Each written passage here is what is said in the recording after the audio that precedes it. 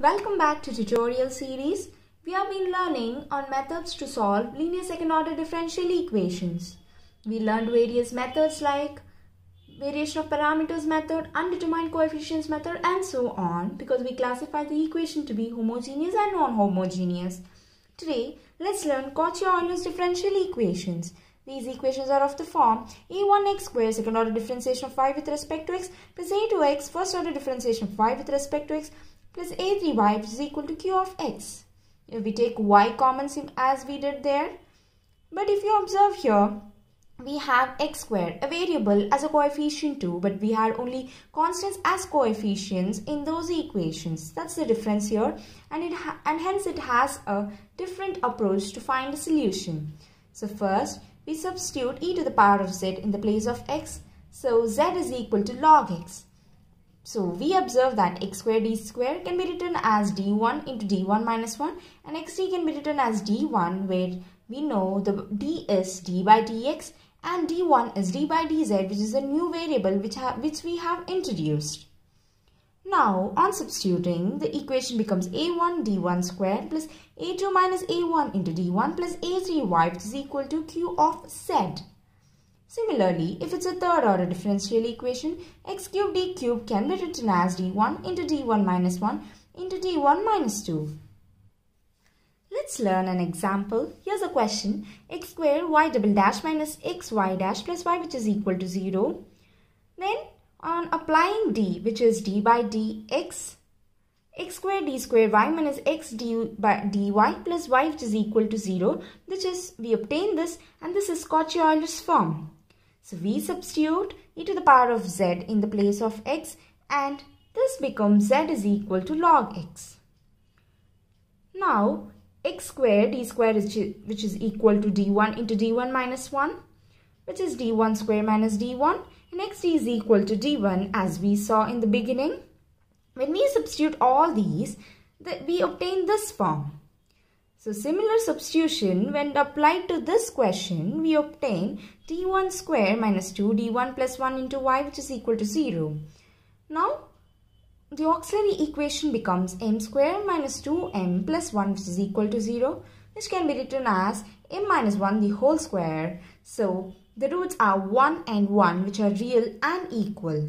So as we have seen till now for such roots the complementary function is c1 plus c2z into e to the power of z form. Now, when we, when we substitute the values of x in the place of z again, it becomes c1 plus c2 log x into x, which is the solution of the given differential equation. Let's learn another example. Here you'll be able to observe that this is a non-homogeneous equation.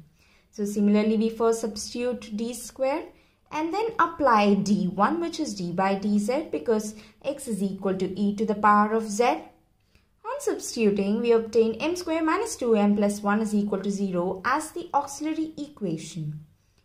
Now again, you observe that the roots are 1 and 1 which are real and equal. So the complementary function is c1 plus c2z into e to the power of z. Now let's apply undetermined coefficients method to find the particular integral. So yp is equal to az plus b and now yp dash will become a. yp double dash will become 0. We have applied az plus b because the right hand side is 2z which is linear.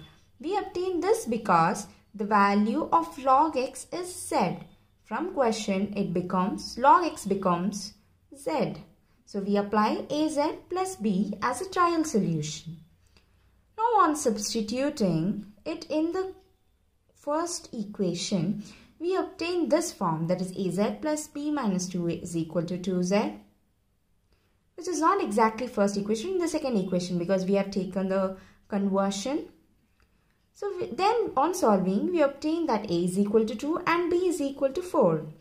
Now we have obtained the values in the trial solution which becomes a particular integral. We know that the solution is the sum of complementary function and particular integral. So on adding, we obtain this form as a solution.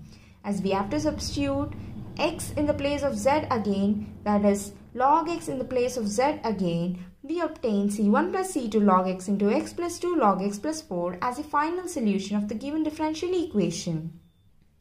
Here's another example. Solve x square d square minus xd plus 2 into y which is equal to x log x. Follow the same format for all the equations by substituting e to the power of z in the place of x and z is equal to log x. Now d1 square minus 2 into d1 plus 2 into y which is equal to z e to the power of z. Now the auxiliary equation becomes n squared minus 2n plus 2 which is equal to 0. On solving, we obtain 1 plus or minus i as the roots. This, is, this means that the roots are imaginary. So based on the format, we get e to the power of z into c1 cos z plus c2 sin z as a complementary function. Again, we apply trial solutions that is undetermined coefficients method to find particular integral. Since we on conversion to z, x log x becomes z e to the power of z.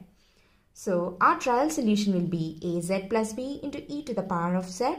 So on differentiating it, it is a e to the power of z plus az plus b e to the power of z. On double differentiating it, we get this equation.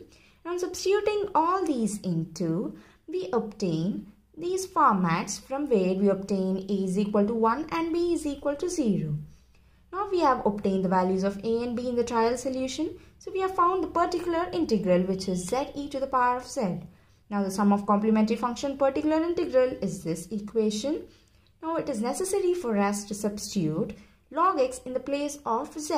On substituting, this becomes a solution for the required differential equation. Here are a few practice problems for you.